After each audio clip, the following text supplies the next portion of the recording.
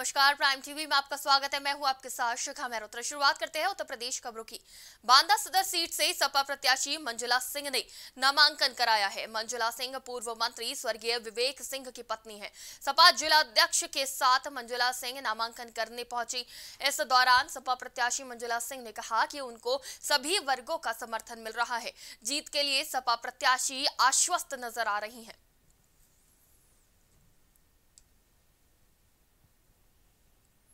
विधानसभा चुनाव में मेरे मुद्दा मेन विकास का ही रहेगा। मैं बांदा में ज़्यादा से ज़्यादा विकास कार्य करूँगी। बिजली रोड सड़क पानी रोज़गार यही मेरा मुद्दा रहेगा।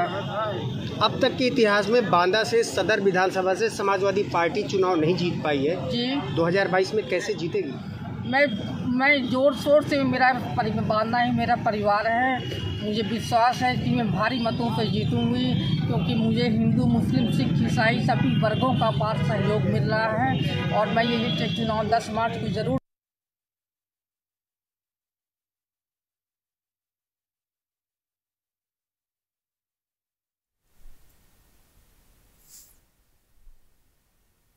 खबर औरैया से है, जहाँ पर बीते दिन कोतवाली में पूर्व जिला पंचायत अध्यक्ष की ओर से प्रबुद्ध समाज को गालियाँ देने का एक वीडियो वायरल हुआ था, जिससे आक्रोशित होकर युवाओं ने जमकर हंगामा किया। वहीं चौराहे पर नारेबाजी भी की गई। प्रबुद्ध समाज को गाली देने के सभी समाज के लोगों में पूर्व जिला पंचायत अध्यक्ष के खिलाफ आक्रोश दिखाई दे रहा है। इस मौके पर राजस्व अधिवक्ता एसोसिएशन के अध्यक्ष और अन्य पदाधिकारी भी मौजूद रहे। मामला यह है कि दीपू सिंह ने कल कोतवाली औरैया में इंस्पेक्टर को जाँच सूची गालियाँ देते हुए पूरे ब्राह्मण समाज को, ब्राह्मण समाज को गालियाँ दी हैं, जिससे सारा ब्राह्मण समाज असंतुष्ट है और इनके खिलाफ जब तक कड़ी कड़ी कार्रवाई नहीं की जाएगी, हम समस्त अधिवक्ता आंदोलन करने को बाध्य होंगे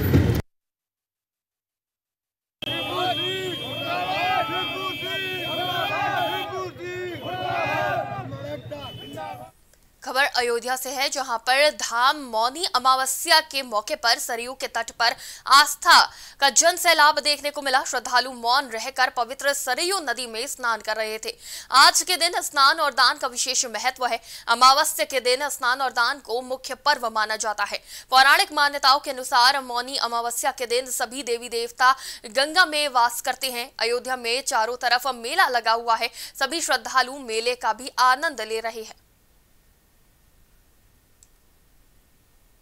इसमें नहान को लोग कहाँ कहाँ करने आते आज मौनी अमावस्या का पर्व, अयोध्या, प्रयागराज, करीब करीब सभी तीर्थों में स्नान चल रहा है। हमारे अयोध्या जी में चार बजे से श्रद्धालु लोगों का स्नान मेला चालू हो गया है। यहाँ से लोग स्नान कर करके प्रयागराज के लिए भी जा रहे हैं और प्रयागराज से स्नान करके लोग यहाँ स्नान करने के लिए आते हैं ऐसी मान्यता है। जो ऐसा करता है, उसकी मनोकामना पूर्ति है। आज मौनी अमावस्या है। सभी श्रद्धालुओं को चाहिए कि मौन धारण करके स्नान करें, तिल दान करें, गौ देवरिया में रामपुर कारखाना से गजाला लारी को सपा प्रत्याशी बनाए जाने पर पार्टी कार्यकर्ताओं की तरफ़ से जोरदार स्वागत किया गया। पूर्व विधायक और सपा नेत्री गजाला लारी ने कहा कि इस सरकार में जनता महँगाई और बेरोजगारी से जूझ रही है। सरकार से जनता का विश्वास खत्म हो चुका है। इस बार जनता सरकार को सबक सिखाएगी। जब हमारी 2012 से 17 तक सरकार थी तो हॉस्पिटल और छह पुल बनवाया गया था। काफ़ी कुछ अधूरा है, लेकिन काफ़ी कुछ हम लोगों ने 2012 से 17 तक हम लोगों ने काम किया था। जैसे कि हॉस्पिटल दो दो बनवा दिए, उसमें एक अभी तक चालू ना हो सका पाँच साल गुजर गए, सरकार ने कुछ भी नहीं किया उसमें। और हमने पुल बनवाए, तकरीबन छह पुल बनवाए, एक अधूरा था, बाकी पाँच पुल बनवाए गए, पक्के पुल का निर्माण गंडक नदी पर। उसके अलावा तमाम पुल पुलिया बनवाई गई। बिजली के बारे में बहुत मैंने सुधार किया। एक तीस करोड़ का प्रोजेक्ट पुरना छापर में लगाया गया, एक सौ बत्तीस का बिजली घर। और ये बरियारपुर को टाउन एरिया किया गया ताकि अच्छा से वहाँ पर विकास हो सके। खबर है, महाराजगंज से जहाँ ग्रामीण चार महीनों से पुल के निर्माण की मांग कर रहे हैं और उनकी कोई सुनवाई नहीं की जा रही है, जिससे परेशान ग्रामीणों ने पुल पर बैनर टांगा और मोटे अक्षरों में लिखा कि पुल नहीं तो वोट नहीं। साथ ही ग्रामीणों ने बैनर के नीचे पहुंचकर शासन और प्रशासन के विरुद्ध नारेबाजी भी की। मऊ में सेंट्रल बार एसोसिएशन के नव निर्वाचित पदाधिकारियों ने शपथ ली है कि सेंट्रल बार एसोसिएशन का परिणाम आने के बाद नव निर्वाचित पदाधिकारियों के शपथ ग्रहण समारोह का आयोजन किया गया। ये आयोजन मऊ न्यायालय परिसर में किया गया है, जिसमें नव निर्वाचित पदाधिकारियों ने अपने काम को ईमानदारी और निष्ठा से निभाने की शपथ ली है। इस दौरान कई अधिवक्ता मौजूद रहे। परिचय दे दें वीरेंद्र बहादुर पाल अध्यक्ष सिविल कोर्ट मऊ। आज मैंने शपथ लिया है। सर समझ में समारोह संपन्न हुआ है क्या कहेंगे इस पर शपथ ग्रहण समारोह एक औपचारिकता है जिसे करना पड़ता है और जब निर्वाचित अध्यक्ष और कार्यकारिणी आज शपथ लेती है और आज पूरी तरीके से अपने चार्ज इस चार्ज को ग्रहण करती है। कैसा लगा आपको आज? अच्छा लगा शानदार तरीका रहा शानदार तरीके से शपथ ग्रहण समारोह हुआ। जी जी।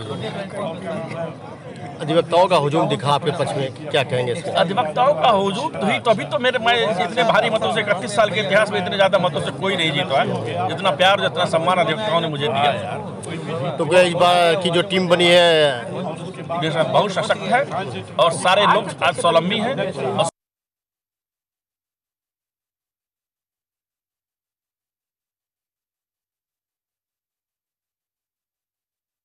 में रास्ते में विवाद में मारपीट भी हुई, रास्ते में गाड़ी खड़ी करने को लेकर मारपीट के दौरान गोली चली है।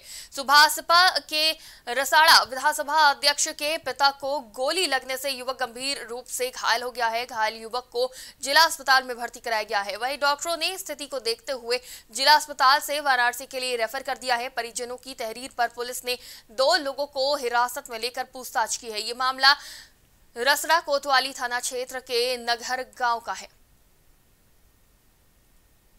हरी सिंह, अटल सिंह, चंचल सिंह हिटलर सिंह, गंभीर सिंह आए और पिस्टल हथियार असनारा लेकर आए और मेरे दरवाजे पर फायरिंग करने लगे। हम लोग भागते इधर उधर भागने लगे। भागने में मेरे पिताजी को गोली लग गई। मेरे आँख के सामने मेरे पिताजी को मार दिया उसने। उसके बाद हम लोग प्रशासन को जानकारी दी। प्रशासन आई, मेरे पिताजी को ट्रीटमेंट के लिए। सदर हॉस्पिटल में एडमिट रामनगर में दो पक्षों में झगड़े में एक व्यक्ति के गोली लगने की सूचना है। उस संबंध में भी मैं जिला अस्पताल आया था बताया गया कि जो घायल है उसकी कंडीशन स्टेबल है फिर भी एहतियातन बेहतर ट्रीटमेंट हेतु उसको यहाँ से रेफर कर दिया गया है। उपरोक्त मामले में जो घायल पक्ष है उनकी तरफ़ से तहरीर लेकर के मुकदमा पंजीकृत कर अन्य पक्ष के दो लोगों को हिरासत में लेकर के पूछताछ की। सर ये कैसा विवाद है? ये जो पता चल रहा है कि कल रात को एक घर पक्ष के यहाँ पे तेरही के कार्यक्रम में घर के बाहर खड़े मोटरसाइकिल से रास्ता ब्लॉक होने को लेकर के विवाद हुआ था जिसके संबंध में आज इनके बीच में बात करते समय वाद विवाद हुआ है। इसी क्रम में आगे की घटना हुई है।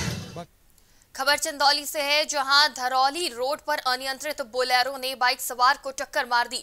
आपको बता दें कि टक्कर इतनी जोरदार थी कि युवक की मौके पर ही मौत हो गई। परिजनों को खबर मिलते ही सूचना पर पुलिस पहुँची और मौके पर पहुँची पुलिस ने शव को कब्जे में लेकर पोस्टमार्टम के लिए भेज दिया। तो तेज रफ्तार का कहर एक बार फिर देखने को मिला है, जहाँ युवक की मौके पर ही मौत हो गई। फरुखाबाद में मेला व्यवस्थापक के हवा हवाई दावों की पोल खुल रही है।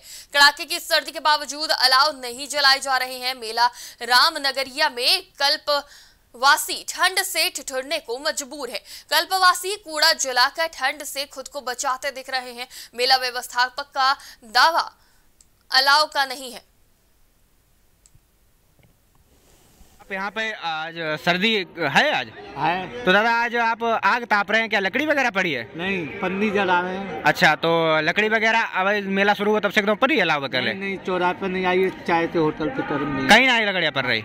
और इतनी ठंड हो रही तो आप लोग क्या करते हो? क्या करते हैं ऐसे बैठे रहते हैं ऐसे ताप रहे हैं अपने गुजर कर अच्छा तो क्या मतलब आप पन्नी वगैरह जलाते हैं? हाँ जी कंडे ले लेते मोल। अच्छा मोल कंडे लेके जला रहे अच्छा कोई लकड़िया वगैरह नहीं पड़ रही? और तो प्रशासन करो लकड़ियाँ जलवा रही है जलवाई जा रही?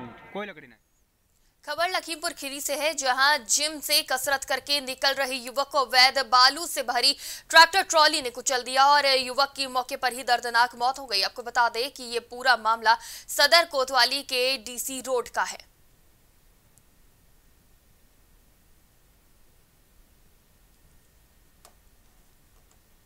उत्तर प्रदेश की खबरों में फ़िलहाल इतना ही। तमाम खबरों के लिए देखते रहिए प्राइम टीवी।